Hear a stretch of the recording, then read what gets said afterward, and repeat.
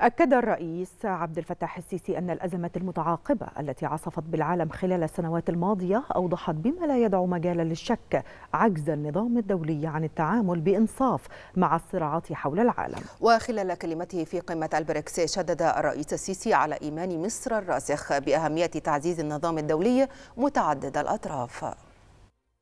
تؤمن مصر إيمانا راسخا بأهمية تعزيز النظام الدولي متعدد الأطراف وفي قلبه الأمم المتحدة وأجهزتها باعتباره الركيزة الأساسية للحفاظ على مكتسبات السلام والاستقرار والتنمية والضمانة القوية لحفظ الأمن والسلم الدوليين.